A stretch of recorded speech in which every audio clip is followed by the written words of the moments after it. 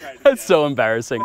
Total spoof. Total spoof. All right, so then you're good. Okay. If a man's home is his castle, then 114 Windsor Avenue is Windsor Castle. This one is a wee smaller than the one in the motherland, but that one is not for sale. This, my friends, is your great hall.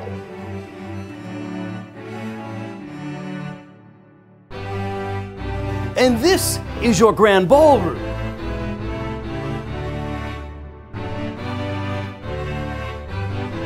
Your servants will love to cook for you in this modern kitchen.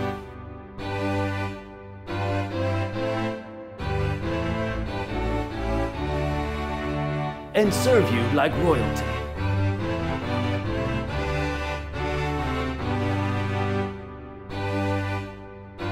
And there are so many bed chambers, I lose track after four.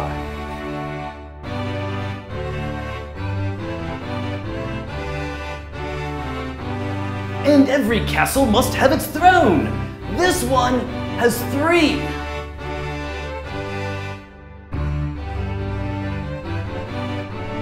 and in the rear of the castle, a lovely garden. If you would like a private tour of this castle, ring me on the telly.